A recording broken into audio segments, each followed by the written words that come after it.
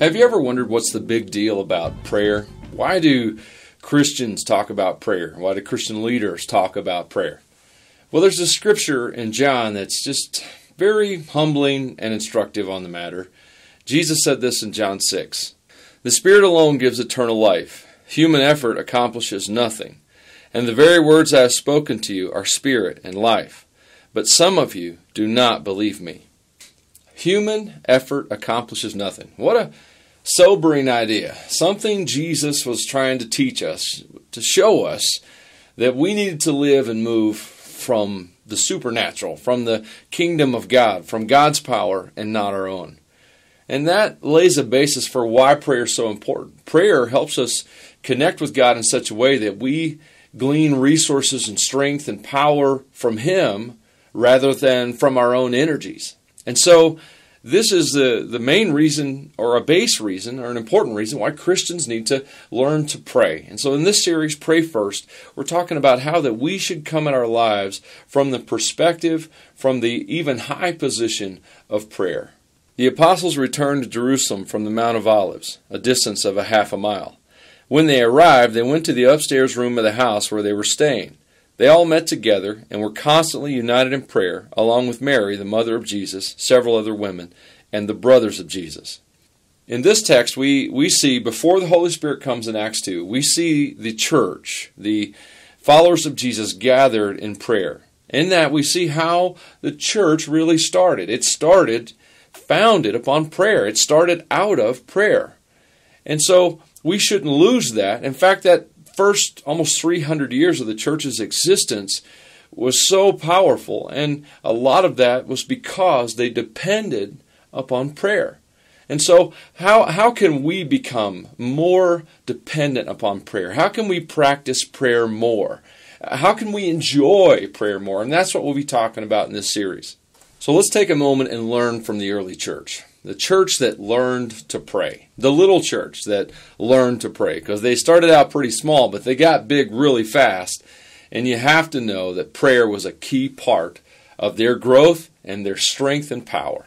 So, the first thing we learned that they were able to do is that they learned to wait in prayer. Jesus told the disciples, I will send the Holy Spirit just as my Father promised, but stay here in the city until the Holy Spirit comes and fills you with power from heaven. So they came together and they prayed. They prayed together in one accord, the Bible tells us in the King James translation of Acts chapter 1.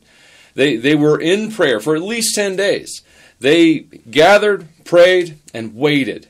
And that's something we could learn to do. We could learn to wait for God in prayer. And you know what waiting is? Waiting is exactly what it says it is. It's waiting. For what? Well, for God to do something for God to change things, for God to show up, for God to reveal, for God to pour into us.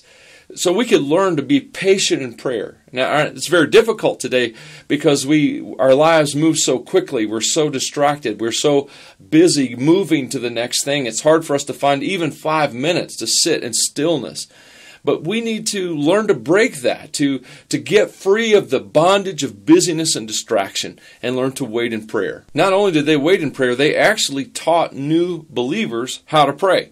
The Bible says this in Acts 2. The believers devoted themselves to the apostles' teaching and to fellowship and to sharing in meals, including the Lord's Supper, and to prayer. You see, this was kind of like the core values, they wouldn't have called them that, but the core values of the early church.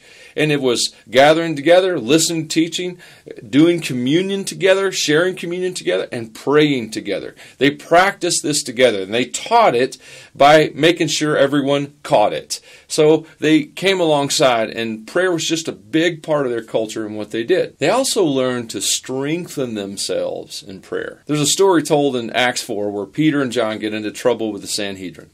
Um, they get told to be quiet, to stop talking about Jesus. They get a, a beating over the deal, and then they're released with the orders to never speak of Jesus again.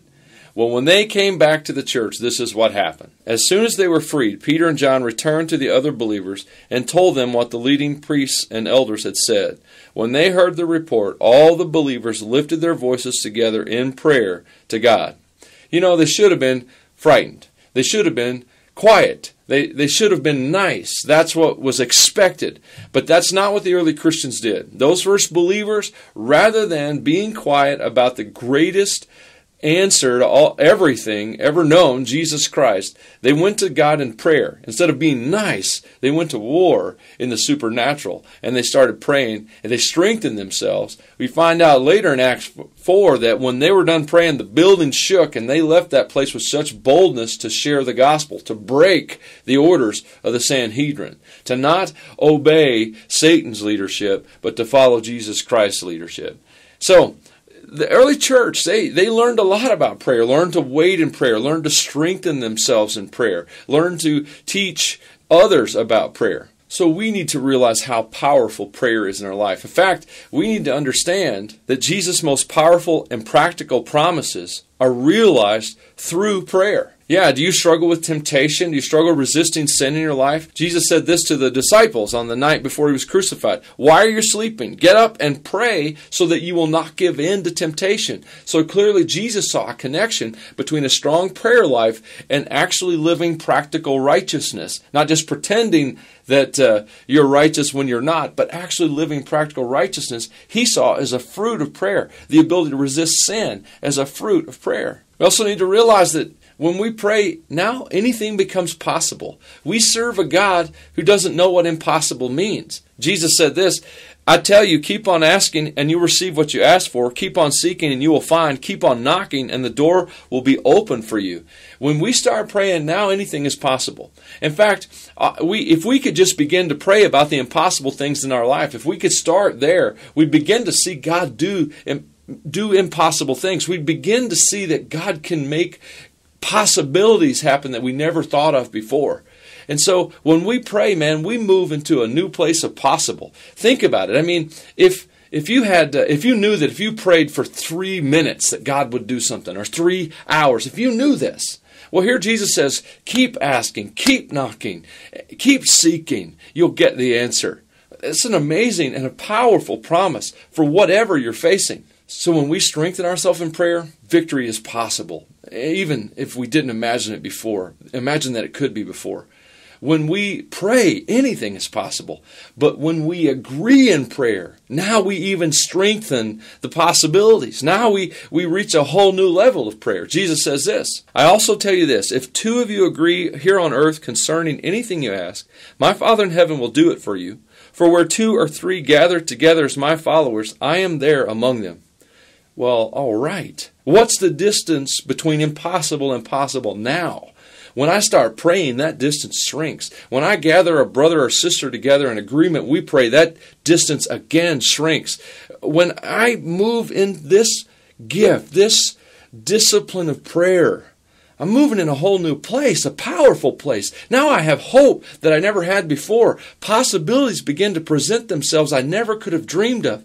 This is why we must learn to pray, learn to enjoy prayer, learn to enjoy waiting on God, and stop leaning on our own strength. Human effort is no value to us. We need to move in spiritual strength and spiritual power. If we, as Christians today, could reclaim the discipline of prayer, the gift of prayer, the changes, the radical changes we could bring on our world, would surprise us, would be, would surpass our wildest imagination. So I, I ask you, pray first.